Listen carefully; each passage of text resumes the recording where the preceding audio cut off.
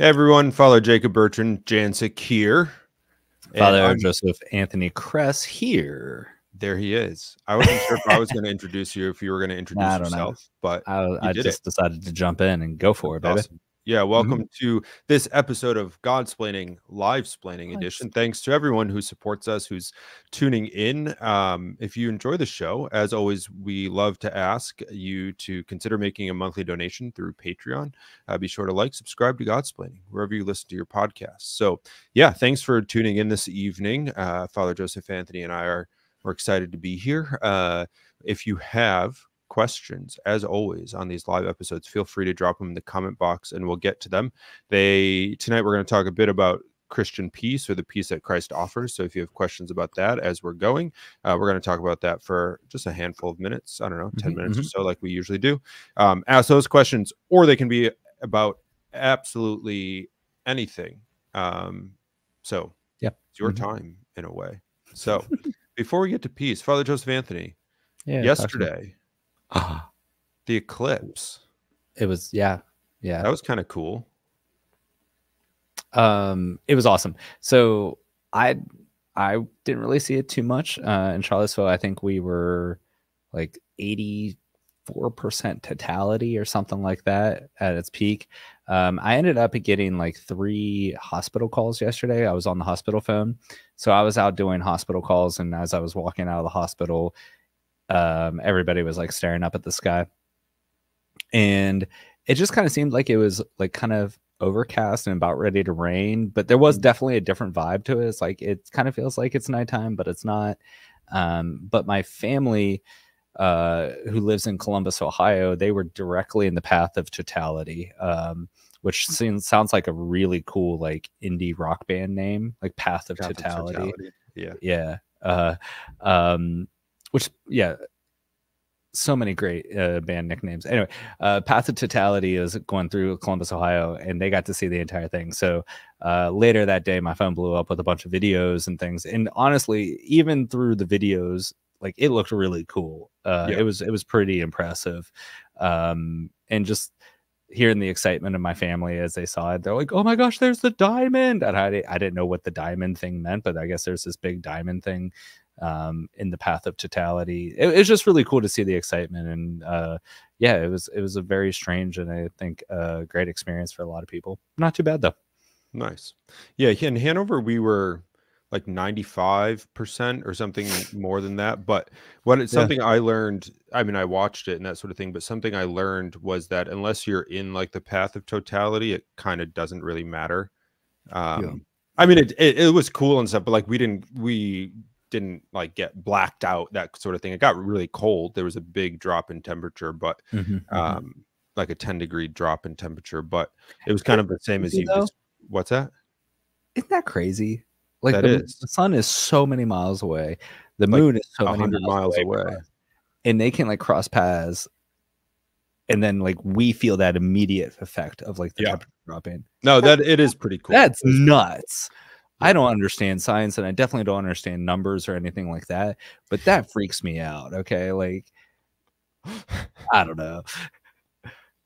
Awesome. What, I don't know. I don't speak the English good or nothing, but man, that that's, that's impressive. Good job, yeah. God, on like setting that up. Yeah, it was. It works. Cool. The sun works and really does. It's, it's yeah. Nice. I'm a big fan of it. Good observation. yeah, our, our own Albert the Great over here. Um, cool. Okay, let's uh let's talk a bit about about peace particularly christian peace um why well we're just following up from easter um mm-hmm. easter mm-hmm. was nine days ago ten days ago yep. depending how you count what day you count easter beginning on um and something if you've been able to attend daily mass or even i get yeah uh the the sort of the gospel as we've been following has uh, since easter has followed the resurrection you know so a lot of the the stories of christ appearing to to the 12 particularly in the upper room and one of the first thing the very first thing that christ says to the apostles upon the resurrection is peace be with you. He offers or in, in appearing to them. He offers them his his peace and this this peace um, is is something that is we could say like the first gift of the resurrection in ways you know that yeah. it's what christ off christ offers. Um so i thought we'd talk a bit about uh what christian peace looks like uh maybe a little bit depending on what father joseph anthony has to say what it doesn't look like. Um but uh i think it's it's a it's an important topic because it's something that um, I think in different ways you hear a lot of people. I mean, I want it too. You know, we're we're searching for peace, comfort, um, whatever it might be, tranquility in our lives. Um, but there there's a way there's a way by which we're able to attain it, um, or perhaps I should say a way by whom we're able to attain it. But uh, yeah, we'll start with that. I don't know. Actually, I'll hand it over to you. Do you, Father Joseph Anthony, any initial thoughts here on? uh, Christian peace, peace that Christ offers. Yeah, I mean, especially when we look at the post-resurrection accounts, uh, peace is one of the things that the Lord continually opens up with when He's talking to His apostles and things. He's like, "Hey, peace be with you," and then He repeats it again, "Peace be with you."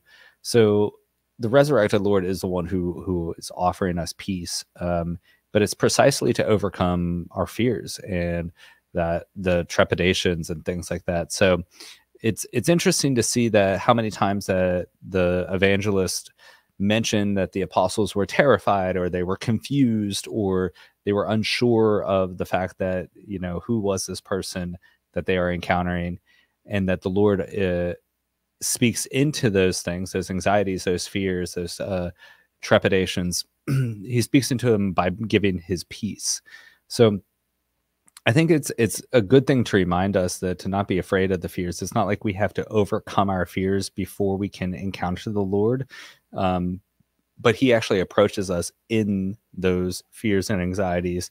But He approaches us to give us His peace in the midst of that.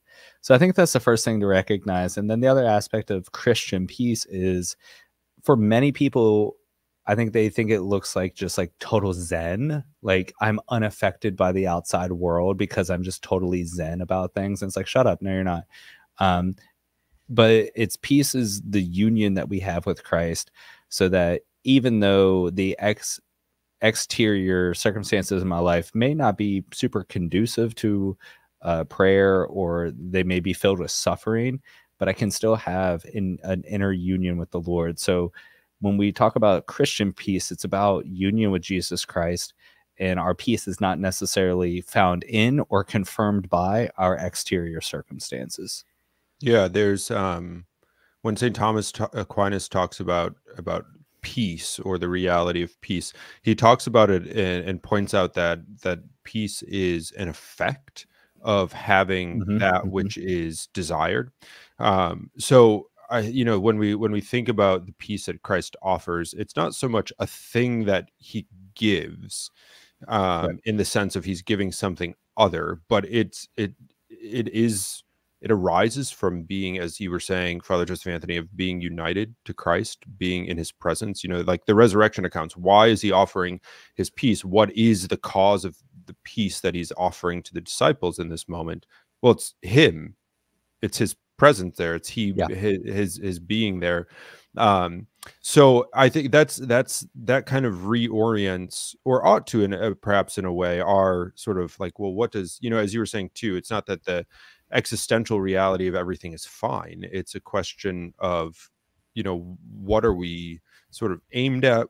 What are we striving for? Who are we looking to be with? You know who is kind of the rock in our life? And if uh yeah and christ's peace doesn't he doesn't promise to take away the difficulties or no. the confusion maybe not even the confusion because i think the disciples were still probably a bit confused as to what was going on even though they were recognizing christ as the resurrected lord but um it's it's a matter of that presence of being with christ of being united to him um, another thing that stands out too that I rem- that one of my favorite scripture verses is from the Gospel of John, John 14, 27, when Christ says, There, peace I leave you, my peace I give you, not as the world gives, do I give you.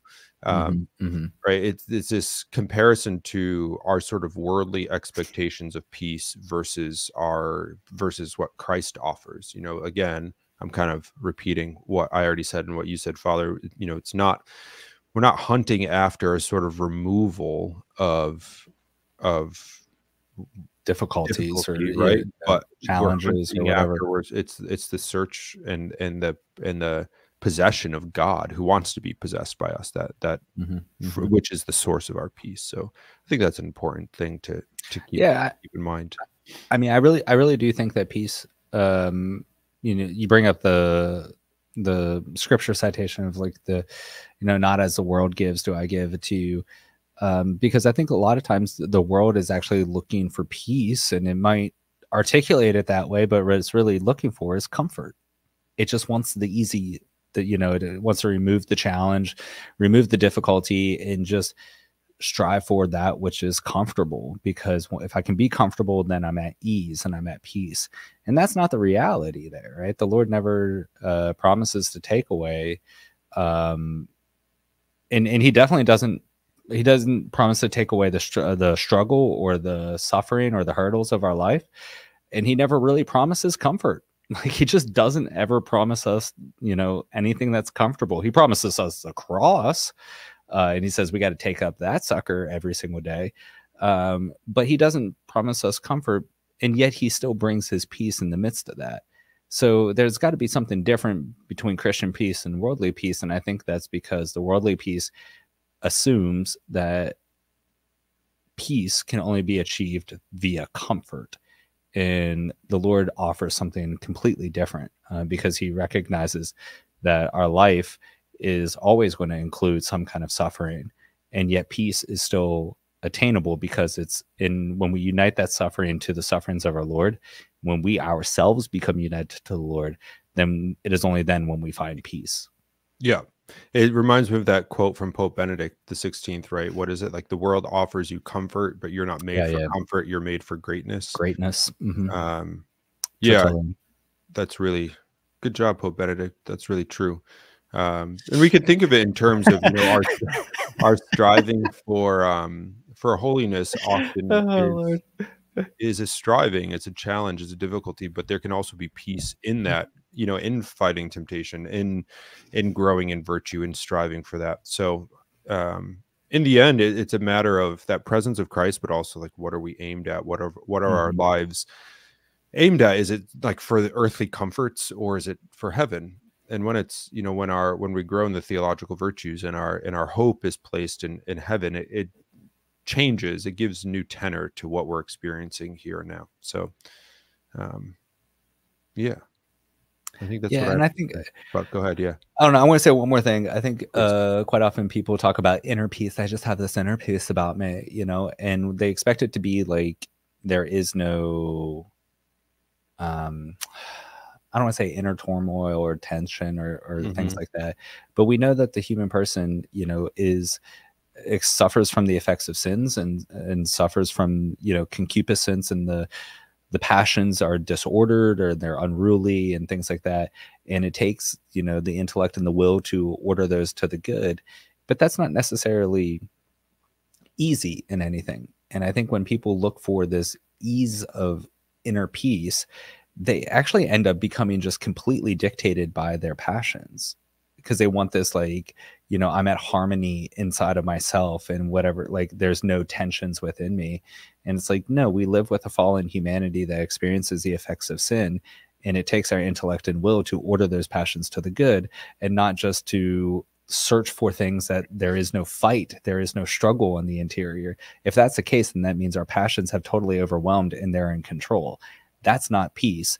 That's complete um you know like the photo negative of our true identity of who we're supposed to be. So um i find those people difficult to deal with and you know yeah. It's beautiful. Very- it inspires a lot of peace in my life so. Yeah that's what i'm here for man. Awesome. All right cool. Well as we continue we have many days left of the easter season. It's 50 days in total. Um, so what we're day nine so we have about 41 days ish 40ish days left of the easter season. Um, what? we'll move towards the ascension and then pentecost ends the easter season. So um, in these days of of easter perhaps this is something to to pray about to ask our lord about um, about his peace how he's inviting you to encounter him and what he offers his peace his his dare I say his own his comfort, comfort in the promises that he um, that he makes to us and hope founded on the resurrection, eternal life. So, mm-hmm. uh, food food for thought or fodder for prayer or something. Um, but there you go. Okay, well, let's jump to some questions. We're gonna we're gonna take uh, questions from some of our Patreon supporters first, and then jump over to our live questions. So if you have them, drop them in the comment section, and we're gonna get to them in short order. But um, we're gonna take this question first from Alec, one of our Patreon supporters. Thanks for your support. Um, let's see. Alex says, Hey, Father, speaking of peace, as a convert, I find the sign of peace in the Mass strange. To me, mm-hmm. it's a weird juxtaposition that the solemn moment of the breaking of the bread overlaps with hugs, kisses, and peace signs. Any thoughts on how I can view this moment more charitably? It's mm-hmm. a good mm-hmm. question. You want to take a stab, Father? Yeah, it needs to be uh, replaced with fist bumps on everybody. He left out fist bumps. He said hugs. He said handshakes. Homeboy left out fist bumps. Um, no, I, I, I actually the sign of peace is is a beautiful moment. Honestly, it's a, it's an important moment. Um, it's drawn from the scriptures where the Lord tells us that like if we have anything against our brother, we have to leave our sacrifice at the foot of the altar and go reconcile with our brother uh, in order to then come back and offer the the proper sacrifice. So the expression of peace is that reconciliation that we have with our brothers and sisters so that we can be in the presence of the sacrifice and in the offering. So it's actually a really important point and I think it there's a lot of elements that we tend to approach the mass from a maybe a spectator's perspective or um, from entertainment and these really important moments that are rooted in in scripture um, kind of get lost on us. I think the other aspect is that we see the first attempt at reconciliation with our brothers and sisters actually being the confiteor at mass. When we ask our brothers and sisters you know we confess our sins to them. I confess to you almighty god and to you my brothers and sisters that i've sinned. Um, and then we ask for their forgiveness. We ask for their prayers. Um, and so what begins at the penitential rite actually comes to completion with the sign of peace right before we enter into receiving the Blessed Sacrament. So, um, receiving the Blessed Sacrament communion. So, I think these important moments are not just like intermissions in the liturgy so that we can like you know interact with each other or you know anything it's it's actually a really important moment that we do express in a physical way the reconciliation that we have that maybe we have some bad blood between each other uh, reference intended. And then, um, but we can reconcile that in with a real expression so that we can uh, approach the true sacrifice, the eternal sacrifice, and receive the graces that are proper to it. Yeah, that's all true. I agree with Alec. I think it is, all, however true that is uh, in what you've just described of the true nature of the sign of peace, I think by and large nobody gets that, and it is a mm-hmm. distraction. Mm-hmm. Actually, in the diocese of Manchester, where where my parish is, where we are not allowed to celebrate the sign of peace during mass, so the bishop has still. Mm-hmm. Yep. So with it, it was started during COVID, but he's not just like killed it all up. Mm-hmm. Yep. Interesting. Okay.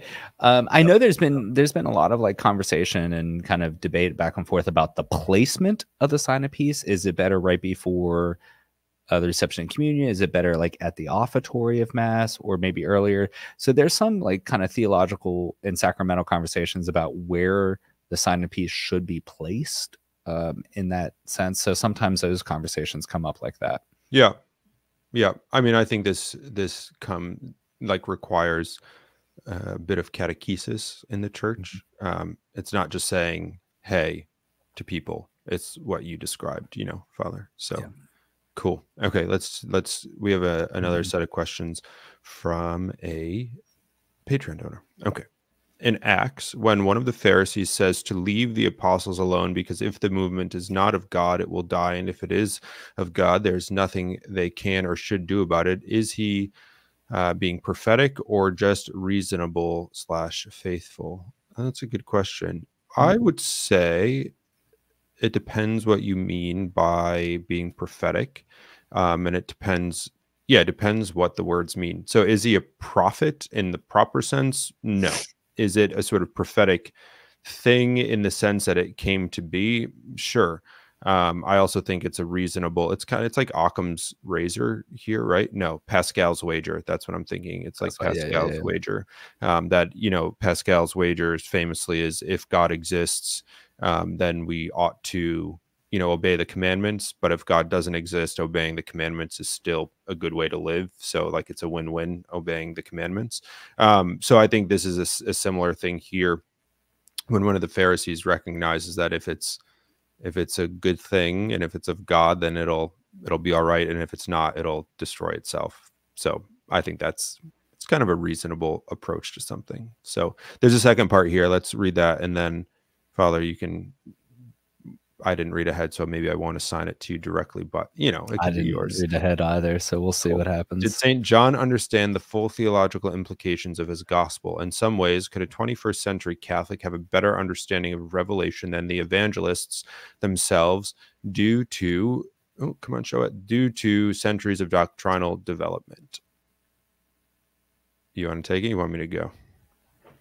Um, I'm going to go back and discuss the like prophetic reasonable thing. Why does that have to be the like juxtaposition? Like, can't things that be reasonable also be prophetic? And shouldn't prophecies be reasonable enough? You know, so I don't I don't necessarily see why those two are the only options there.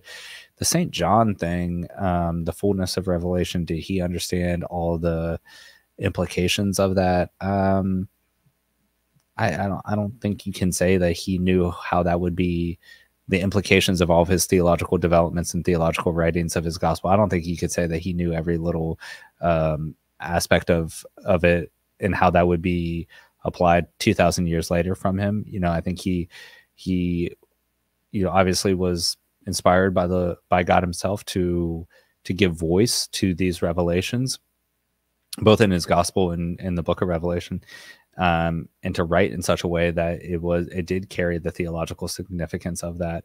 Um, I think with the respect that like sacred scripture is ever ancient and ever new, um, that the human author, the evangelist of it, can have an, a concept and an idea of the importance of this for his particular audience. But I don't think you have to assign the importance of it for the centuries and generations. I mean, he's not necessarily writing for um, the shelf life to it and make sure that this is a perennial uh, sacred book. I mean, he's writing for a specific purpose and a specific audience. Um, the same way that we would talk about St. Paul in his letters to specific uh, churches and communities, Christian communities, that he's writing for that community, but yet it's important to see the truths that are uh, conveyed in that have a, a application and importance for all of us, um, even throughout the centuries. Yeah, John, um, being one of the one of the twelve, the beloved disciple, would have had the fullness of revelation, um, exactly. which yeah. all of the twelve, well, the, the, which the apostles had. Judas didn't really, um, but or he, the whole Judas thing complicates it. But being one of the twelve, had the fullness of revelation and grace um, which is different than different than the grace of the evangelists because not all the evangelists were one of the 12 um, but so it kind of i think it, it becomes a bit more uh, what like complicated when we're discussing john by way of example because not only is he one of the 12 but he's also has the grace of an evangelist and the grace of you know this this apostolic grace of founding the church and the fullness of revelation um, given to the 12 so but like to father joseph anthony's point you know, does that mean that John sort of foresaw that the the sort of theological arguments that would come up in centuries to follow and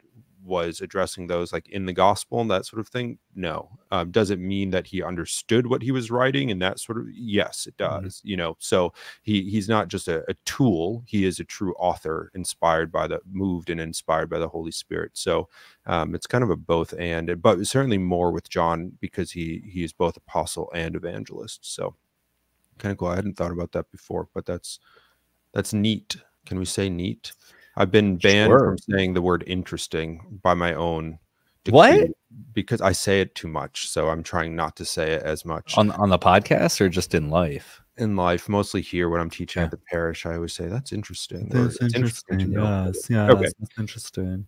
All right, we're going to turn to some of our live questions. So, Reagan or Regan, sorry. Hey, fathers. In the next few months um, and years, my friends and I are graduating, and I'm curious if you have any advice for maintaining and growing these relationships since we're all going to be starting new jobs and won't be able to see each other as much. I am fearful that it may be a hard transition. Also, at me, Father Jacob Bertrand, Confessions on Catholic Classics has been so helpful.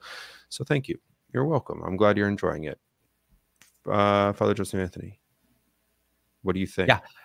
Um, okay, so my advice to this is if you are, it sounds like you're in college. Um, I'm going to scroll up and see. Yeah, it sounds like you're in college. Um, and you're getting ready to start your new jobs. Everybody disperses to new cities and things like that. Um, I always tell the students that are graduating, like, ideally, you need about three friends to identify and invest in to say, like, yeah, actually, I want to continue this friendship into the next phase of my life.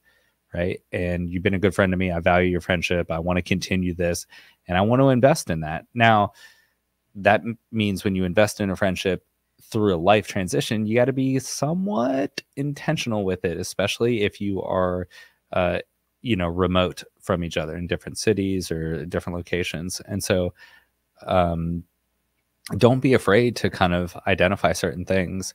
So say like, hey, you know, can we make sure that we chat every Tuesday night? Let's, you know, make sure that we catch up on a regular basis and actually not just say like, oh, I want to talk on I want to talk all the time, but like kind of get specific with it, kind of get gritty with it and say like, yeah, actually I'm gonna I'm gonna block out Tuesday nights and let's catch up every Tuesday night. So I think if you can identify, you know, one night a week or uh, you know, every a specific time of expected communication can be really good um, and then even beyond that is to like you know even identify like you know some time to get together like you know how about uh, times to visit each other and or you know go and share a vacation together and actually catch up with each other in in the presence of the other person. Because it's good to stay connected. We love staying connected but being connected and being present to the person are very very different things. And so I think setting some expectations and communicating um, with intentionality is a really good thing to foster and sustain friendships into different phases of life. So that'd be my advice. Cool. Let's take this from Ron. Not so much a question, but I was a hospital chaplain since 1979. I see a lot of peace in my patients just as they pass from this life. I'm almost 80 and death holds no fear. Learning the Catholic approach to the faith for the first time. Peace to you all. Thanks. Yeah, death is, it's funny as like, I'm not a hospital chaplain and I never have been at least full time, but I do work for mm -hmm. the mm-hmm. hospital here as an on call chaplain overnight. So I only get called in. Um, when there's an emergency. Um, and it's sometimes people are, I mean, often in these circumstances, people aren't conscious. Um, but um, if I'm visiting sick parishioners or dying parishioners or people who are conscious, I, I've gotten the whole gamut um, of people who are at peace and who are, mm-hmm. Mm-hmm. you know, quote unquote, ready to go to people who are totally terrified. Um, and a combination of all of the you know of, of both in between. So um yeah it's death is death is a is a tough it's tough people you know? So yeah but I, am glad to hear that mm-hmm, that that's mm-hmm. the case too so cool. Um great from luke. Thoughts on connecting more deeply to the mystery of the resurrection? I find the passion of our lord more grittily human but meditation on the re- on the resurrection feels more foreign Hmm. I like that idea. Maybe in ways. I think the mm-hmm. at least from the outset, I don't know. Do I have thoughts on connecting more deeply? I don't know if I have thoughts on connecting more deeply, but I, I at least want to affirm the observation. I haven't thought of it in those ways, but you know, the death, the suffering and death of our Lord is a very human thing. Um, the like humanity is on full display in that in ways. Um, mm-hmm and not that his humanity is not involved in the resurrection of course it is but the resurrection so that's that's to say that i think we can connect more with physical suffering than we can the resurrection just because of yeah. human experience and observation I so mean, i think you're, you're totally the thing right. is we've all experienced suffering in some capacity yeah um and so when we hear and we see that it's like yeah maybe i haven't been crucified. Maybe i haven't get, been scourged. Definitely have never had a crown of thorns put on my head. But like i know what a thorn is. Like i've grabbed a rose stem on you know and, and pricked myself. So it's like i do have some experience of suffering. Um and so yes it's easier. It might be let's say a little more natural to connect with the passion and the suffering of our lord um, because the resurrection is actually not natural. It's supernatural, and I have yet to experience a resurrection. Um, so that might be a little why it's it seems like a little cartoonish or a little fantastical because I've yet to experience something that I can make an um, a reference to in my own uh, experiential knowledge. That it doesn't mean it's real. It doesn't mean it's not um, yeah, it doesn't mean it's not real, but it, it is. I think uh, there's a different engagement with it, and maybe a little more challenging. Yeah, and I don't know if I have good tips for connecting with the resurrection more than that. So, if, because there isn't, there isn't a way to sort of experience it in a direct, you know. So it's it's hard to say, um, but I think that's okay. Its foreignness is okay. That's what I have to offer. Uh, yeah, um, I'm trying to think. I mean, at the end of the day, when these things come up, I always tell people it's like, hey, ask for the gift. If there's something confusing or if you have a desire, it's mm-hmm. like, oh, I really want to understand this mystery more.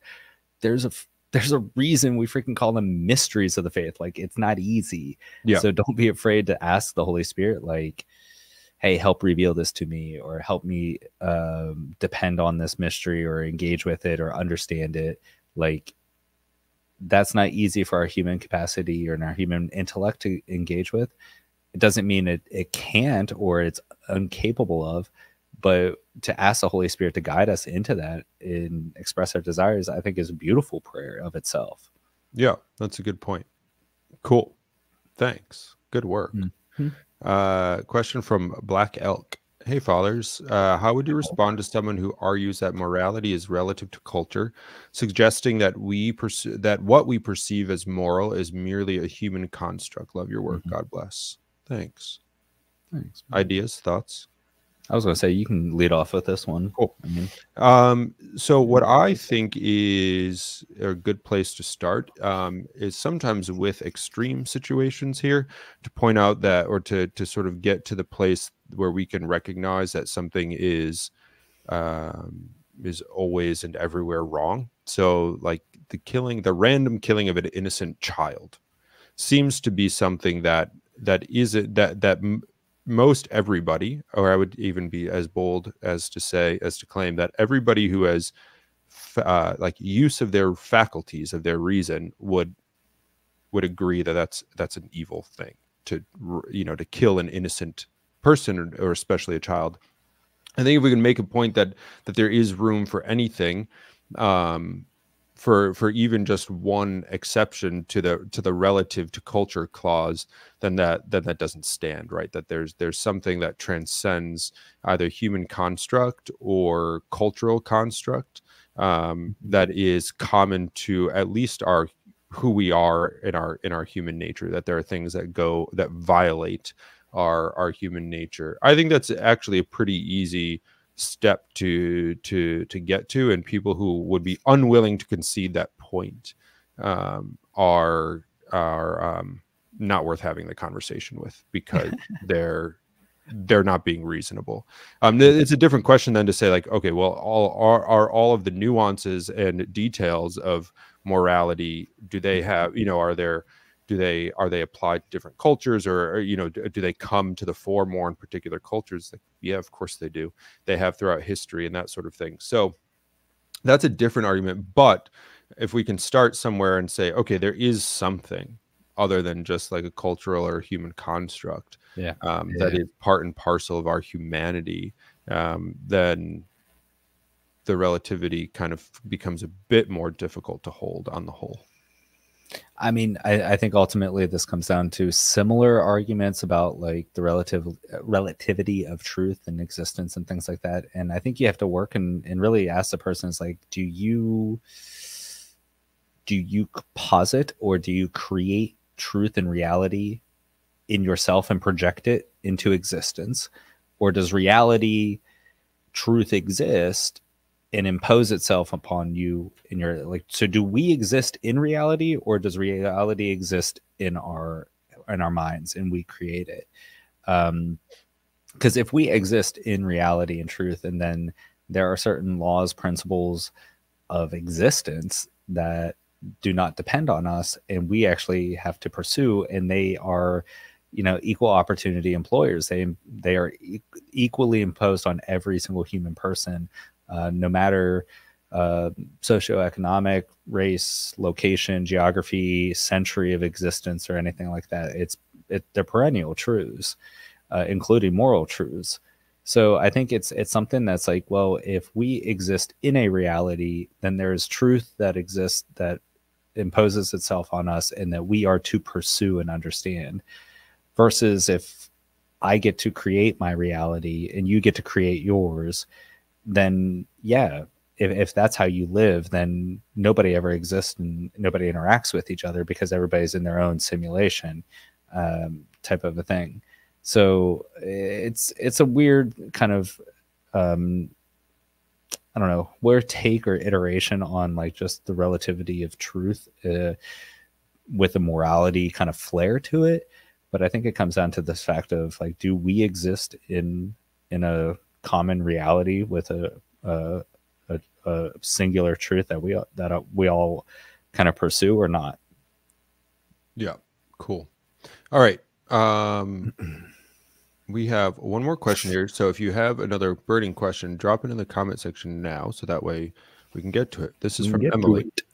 Fathers, regarding the Confiteor, the penitential mm. rite, it sounds like the laity are beating their chests with closed fists too firmly. Should we be more gentle with ourselves or not? Um, I don't know. I think people can bow no do what they want. Um, I would say this. I, I have heard people really like really go like hurt themselves on this and they think it's like what should be done the instruction to strike one's breast during the confiteor is to done to be done for us to remind ourselves of our sinfulness not to punish ourselves. And that's the thing that i think is really important. So when i see people like really trying to hurt themselves like i need to feel the pain of my sins yeah the confiteor is not that time. It really isn't. So like the striking of one's breast is to help remind you of the fact that you have transgressed and there has been a, a, a, punishment or a hurt in this relationship. It's a reminder. It of itself is not the punishment. So one should not be trying to hurt themselves or feel it as hard as they can. So I, I would really, really temper people who are like are you know with a closed fist and trying to thump their chest as if they're a silverback gorilla in the zoo or something like that. Nah, don't do that. Yeah, I like that distinction. That's a good distinction. That it's not the punishment; it's a reminder of our mm-hmm. guilt. Yeah, I think that's fair. Um, yeah, cool. Yeah. Well, we have one more comment. We're just going to put it up here because it's a good Roll one. them up. Uh, yep. Also from Emily, I stand with St. Louis de Montfort. There's one truth, or there is no truth. Sweet. Very true. There we go. See what I did there? Awesome. Okay, wait. We got mm-hmm. one more question coming in. Got coming in hot. Time. Part one of two, but um, happy Easter and good early yeah, morning, Easter, and everyone. Um, it's evening here for me, uh, but same happy part, whatever time of day. Good morning to you. Just a question on how can um, how to answer someone who has said that people who are mentally disabled should be used as organ donors.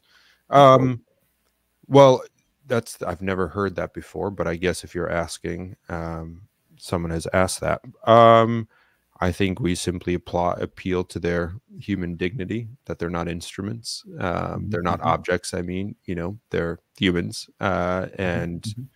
ought to be afforded the same dignity that we, each of us, possess inherently. Um, yeah, no human is to be used as an object.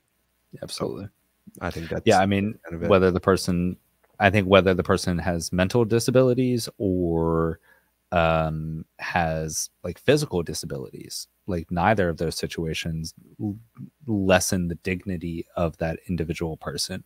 So, um, no matter the disabilities, physical or mental, they they should not be used um, as replacement parts for another. Like that, yeah, that that doesn't just make sense at all.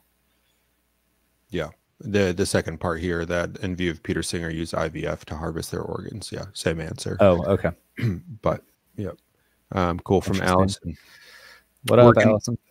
she Allison writes, I work in HR for a large public school district, and um, and I'm being asked to help plan a month of mindfulness to include guided meditation and yoga. Am I overreacting by removing myself from planning? Um, I've heard concerning things about these practices.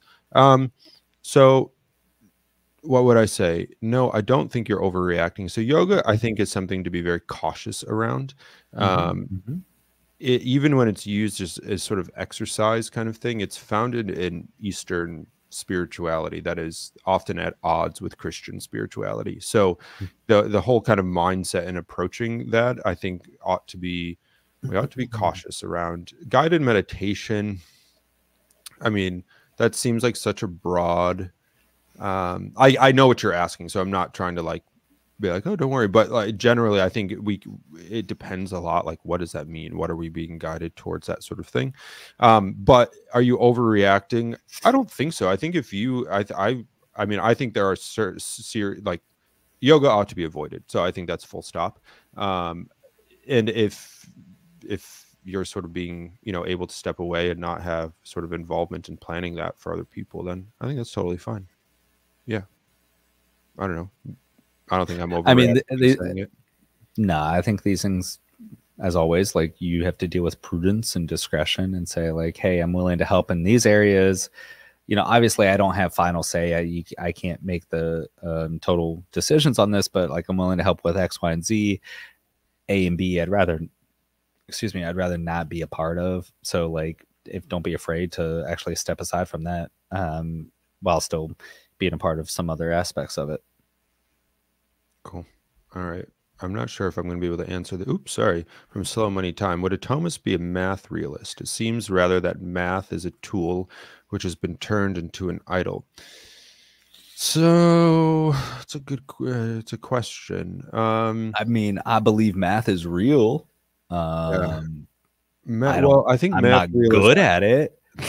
okay. Uh, um what would I say? The so as far as I understand, a math realist is, holds at like numbers, etc. This is far probably too simple simple of an explanation, but numbers they they are real and exist outside of human mind. So that like the concept exists. Would I don't think that it so I could be totally wrong. Um, I don't think that a Thomist would hold to math realism um, because we don't hold to sort of like the Thomists typically don't hold, at least in the physical world, to like the existence of forms, um, you know, sort of thing. So, like, so this is a much more Platonic idea, and though Plato is involved in Thomistic in Thomas's thought, he's he's much more of an Aristotelian when he engages with the created world. Um, Plato understood that there were sort of these perfect everything that exists has this kind of perfect ideal that exists in a sort of like um, kind of like an immaterial kind of thing. So when we think of do- a dog, there's like there's the form of a dog, the the perfect essence of a dog that exists, and all dogs participate in that in that form.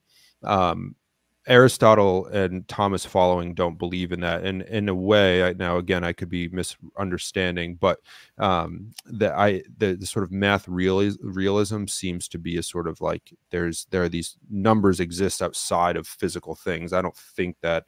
I think Thomas would say that in order for there to be three, you need to be able to count three physical things in a way, you know. So, um, in the same in the in a similar way to say that like time doesn't exist outside of creation. You know, there needs to be a measurement of change in order for time to exist. So mm-hmm. that would be my answer. Um, cool. Another one from Emily. I'm planning to read Dignitatis Infinita, 66 paragraphs. Have you read it? I have not. Have you? Um, I have not. No. Um, I, I think we talked to some of the other uh, friars on the podcast, and um, you know, I think we just it, it just hit yesterday so some of us are just starting to work through it or things like that so i would expect to hear some more from the friars on it in future uh, engagements episodes blah blah blahs But um, yeah, I haven't been able to actually sit down with the document. So unfortunately, I got nothing to say on it. Boom. This one's for, this one's for you from James Father Joseph Anthony. Off topic question: What kind of lights are you using for your background? It looks oh, thanks, bud. I love it. Um, so I have one just LED um, softbox in front of me for my key light, and then I have two uh, accent lights, um, one set to red and the other set to purple. Um, just kind of square little. Let me see if I can just you know one of these little guys. So it's on a stand, and I have another one that's actually right behind my back right now. Um, that's on the stand too. So they're just set to different colors to kind of give it some uh, texture. I figure in the space that I'm in, I don't have a lot of like actual, um, you know, room behind me. I don't have actually a lot of physical space behind me, so I have to create some texture with the lighting, um, and so that's the way I've set it up. But yeah, just simple little uh, LED lights that I got off of Amazon. Nothing too fancy. Sweet. But thanks thanks for noticing. I love the production side of things. I love like tinkering and playing around with that. So I do it mostly for myself, but if other people enjoy it, I'm happy to uh, hear that kind of feedback. Well, there you have it. All right. Those are our questions. So we're going to leave it there for the night.